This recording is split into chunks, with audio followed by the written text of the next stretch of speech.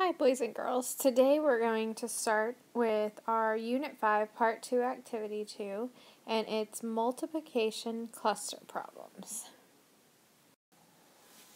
Alright guys, here is our first example.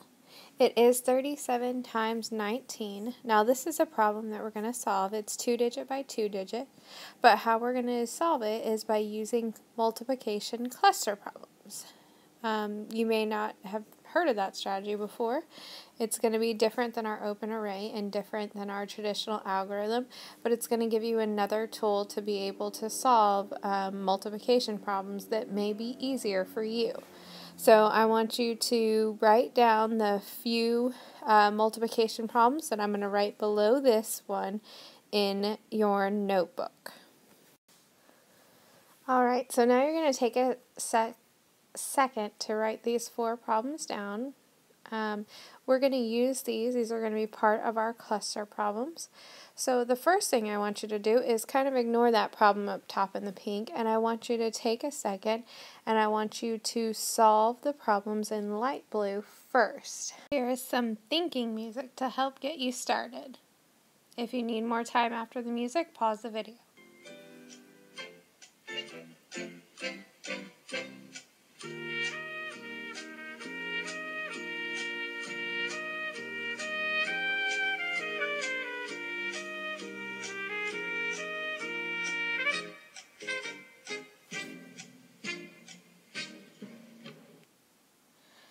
Alright, if you still need more time, pause the video now. Now, hopefully you are able to solve all of these problems mentally like we've been doing in class, um, especially with our last unit where we talked about multiplying patterns by tens and hundreds and thousands, so you know what to do um, for sure for that. Um, but the simpler problems like 37 times 2 where you just double them um, may also be solved mentally. But if you're still having a hard time, then I really want you to work on those math facts and using those patterns that we've talked about in class. All right, let's begin. So 37 times 10 is going to equal, I'm going to cover that 0 up, you can't see me, but I am. 37 times 1 is 37. And then I'm going to add that 0 back. It's 370. Then I'm going to go on to 37 times 2, which is just 37 doubled. So I know that 37 times 2 is 74. By doubling 30 twice is how I got my answer, and doubling 7 twice. Or you can add, with repeated addition, 37 plus 37, but mentally it's easier for me to do that doubling. Then we're going to solve 37 times 5. For this answer, you should have gotten 185. And another way that you can figure that one out if it's a little bit harder is to use this 37 times 10 because half of 10 is 5. So I know if I take half of 370, then I get 185 and that gives me my answer because 37 times 10 would just have to be half to give me 37 times 5. The last one I'm going to do is 37 times 20 and if you'll look at my problems, and this is why they're called cluster problems, you'll notice that I could use a problem to help me solve this. So I know that 37 times 10 is 370, so doubling 10 would give me 20, and then Doubling that 10 would give me the 20. If I double that answer, it's going to give me the answer I need. So 37 times 20 is 740.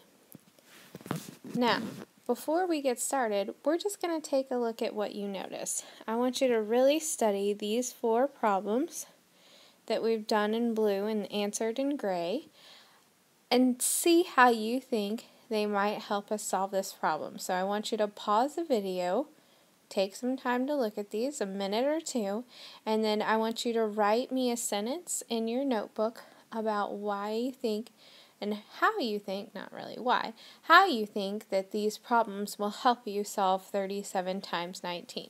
So pause the video now.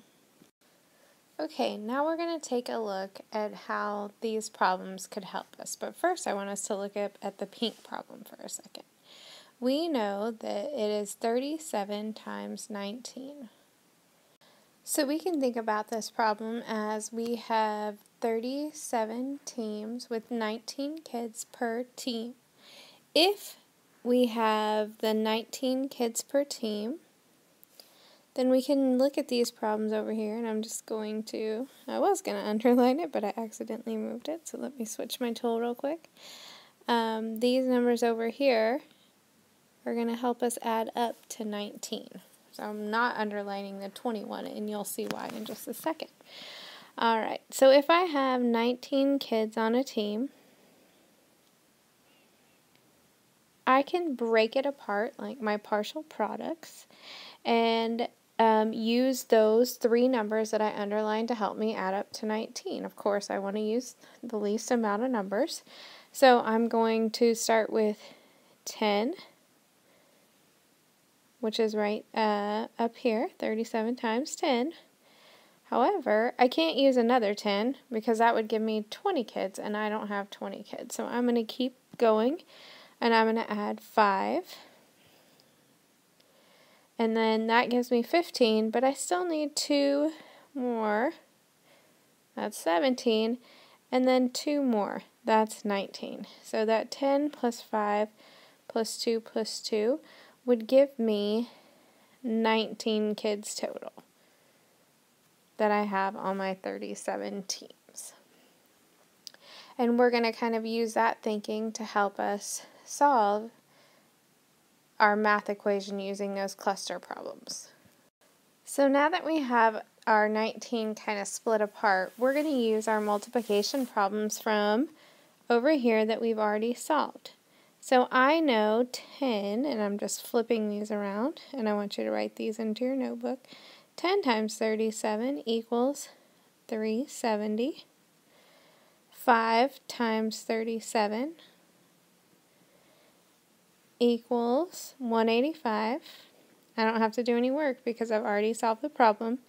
2 times 37 equals, and I'm going to actually go back and erase that line. I want to make sure those line up. And then my last one, 2 times 37 equals 74. So these are like the partial products that we used in open arrays without kind of the structure to help you a little bit. So now we're going to add all of our partial products up and we found them a different way than we did with open array. We didn't split by place value, we split by problems that were easier for us to solve or something called benchmark problems, which you'll hear me say more often.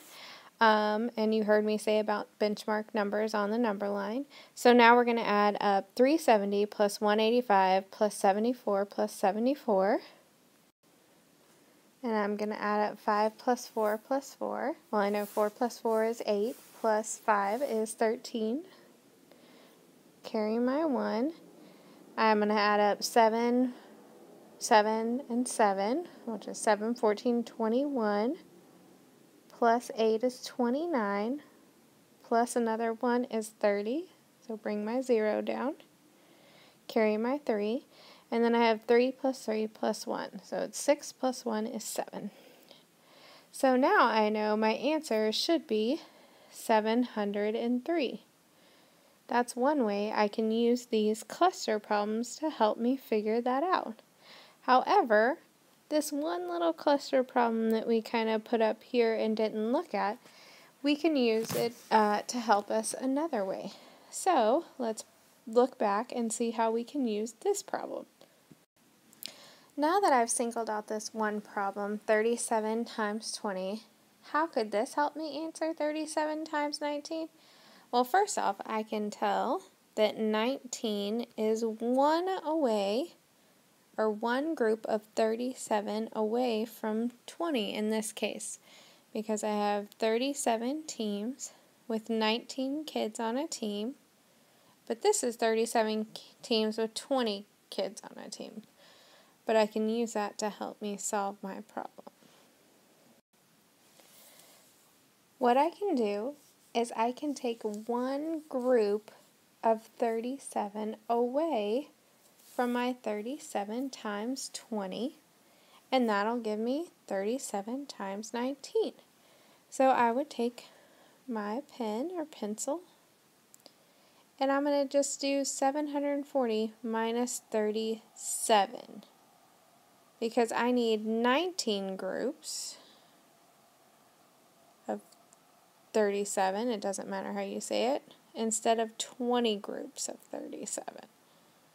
Okay, so I'm going to do 740 minus 37. 0 minus 7, well, I can't do that. I have to go next door and borrow. That turns to a 3, and my 0 turns to a 10. 10 minus 7 is 3 now. 3 minus 3 is 0, and 7 minus nothing is 703, which if you remember is the same answer that we got when we solved using the other set of cluster problems. So the main idea, guys, that I want you to understand is that you can use easier problems to help you solve your um, harder multiplication problems. Alright guys, if you have any questions, make sure to bring them into class. If not, I want you to try out that worksheet and we're going to talk about cluster problems more tomorrow. Talk to you soon. Bye! And don't forget to mark this as done on Google Classroom.